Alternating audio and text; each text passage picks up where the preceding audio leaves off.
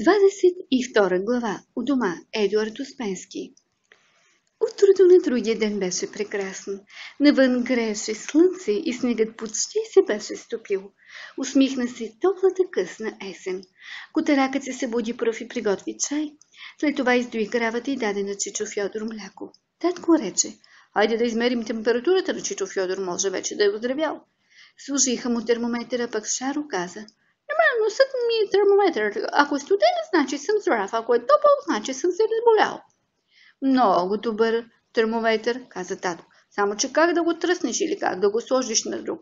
Ако, например, се разболея, аз какво да правя? Твоят нос ли да си пъхна под мишницата? Ето виждаш ли, рече татко. Но изведнъж Кадливко излетя от гардероба и се стрел направо към леглото при Чичо Фьодор. Беше забелязал, че под мишницата му нещо блести. Всички гледаха към татко, Крадливко открадна термометъра. Дръжте го, викна татко. Температурата излетя. Докато гониха Крадливко, вдигнаха такъв шум, че даже Мурка дойде от обора да погледне през прозореца. Пъхна глава стаята и каза. Фу, никак не е смешно. Всички направо седнаха. И тази добра Мурка говори. Ами, ти си можела да говориш? Попита котаракът. Ага. А защо по-рано мълчеше? Така, мълчах си. За какво да говоря с вас? О, каква салатка расте! Това не е салатка, изкръщя котарака. Това е столетник, изблъска Мурка от прозореца. Хванаха температурата и, и видяха, че е нормална. Чичо Фьодор почти оздравял, мама каза. Щеш, не щеш, синко, но ще трябва да те вземем в града. Имаш нужда от грижи. А ти ако искаш да вземеш котарака или Шаро или някой друг, взимай ги, ние няма да възразяваме, добави татко. Чичо Фьодор попита котарака. Ще дойдеш ли с мен? Ако бях сам, щях да дойда, но Мурка, ами стопанството, ами запасите за зимата, пък и вече свикнах с селото и с хората, вече всички ме познават, поздравяват ме, а в града трябва да живееш хиляда години, за да започнат да те уважават. А ти, Шаро, ще дойдеш ли? Шаро не знаеше какво да каже. Точно беше намерил мястото си в живота. Захвана се с фотолов и да замине. Ти, Чичо Фьодор, по-добре забрави и се върни при нас. Татко рече, ние всички заедно ще идваме при вас на гости. Правилно, каза Матроски. Идвайте при нас неделя да се презаляме на ски. А през лятото в отпуска, че Фьодор, като тръгне на училище, ще си кара пред нас вакансиите, лятната и зимната. Така решиха. Мама навлече Чичо Фьодор всички топли дрехи и нареди на татко да нахрани добре трактора. След това попита Матроскин. Какво да ви изпратим от града?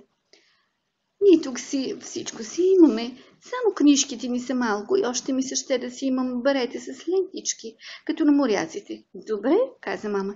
Непременно ще ви изпратим. И морячка в Румелка ще ви намери. А на тебе, Шаро, нищо ли не ти трябва? Не е лошо да си има малко радио. Ще си слушам предаванията в колипката и камера. Ще снимам кино за животните. Добре, каза татко. С това ще се взема аз лично. И те започнаха да се товарят на трактора. Мама, татко, Чичо Фьодор и Шаро. Шаро трябваше да върне обратно Митя. Тръгнаха изведнъж Матроски и скочи от портичката. Спрете, спрете, спряха. И той им подаде крадливко. Ето, вземете с него, ще ви бъде по-весело. Татко попита от кабината. Това кое е? Крадливко отговори. Аз съм раздавачът Печкин, донесах списание Мурзилка.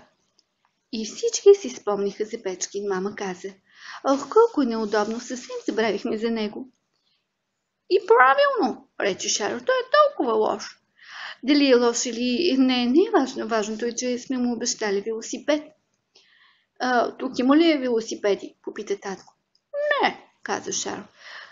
Можете да направите друго, предложи Матроскин. Купете му билети от лотарията за 100 рубли. Нека спечели каквото си иска. Ако ще мотоциклет, ако ще кола, нали той продава билетите.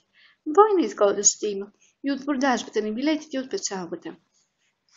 Така и направиха. Купиха от Печкин билети и ги занесоха на самия Печкин в почтата.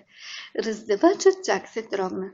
Благодаря ви. Аз защо бях лош? Защото нямах велосипед, а сега веднага ще започна да се подобрявам. И ще си взема някакво животинче, за да ми бъде по-весело. Като се върна вкъщи то ще ми се радва. Идвайте в нашето кисело мляко. Най-после пристигнаха вкъщи. Веднага служиха, че шофьор да спи, после я хукнаха да купят моряшка, фълнелка, книжки и камера. След това всички обядваха, особено тракторът. И мама през цялото време предумаше Шаро да остане да спи, но той не се съгласи. Ама ще ми е по-добре тук с вас. А матросския там е само стопанството и старето. Трябва да тръгвам. Тогава мама каза, как ще тръгне сам с трактора, нали всеки милиционер ще го спре? Не може такова нещо, куче на волана. Татко се съгласи. Така е, така е, страхувам се, че цялата милиция по пътя ще почне да се хваща за главата. И на срещните шофьори също колко катастрофи могат да станат. Шаро предложи. Хайде да направим така, да, да не тревожим милицията. Имате ли очила и шапка и стари ръкавици? Татко донесе всичко. Шаро си издокара, облече и моряшката фланелка и попита. Е, как е? Татко каза, лично учен адмирал от запаса пътува с трактора си извън града, за да навести баба си. Мама рече, че адмирал е ясно, що ме с моряшка фланелка, че учен също е ясно, защото е с очила, но какво общо има бабата? А, такова по това време гъби няма, а плодове също, само бабите са останали. Мама каза, Цял живот само глупости и глупави съвети даваш. Това не ме очудва. Но защо глупостите ти винаги излизат верни, никога не мога да разбера. Затова, рече татко, защото най-добрият съвет винаги е неочакван, а неочакваното винаги изглежда глупаво. Шаро каза, всичко това, което говорите, е много интересно, макар нищо не разбирам, но е време да тръгвам. Ама нека да не се целуваме, не обичам нежностите. И татко се съгласи. Той също не обичаше нежностите. И мама се съгласи. Тя обичаше нежностите, но не беше свикнала Шаро. И Шаро тръгна. А Чичо Фьодор спеше. И му се присъмваха само хубави неща.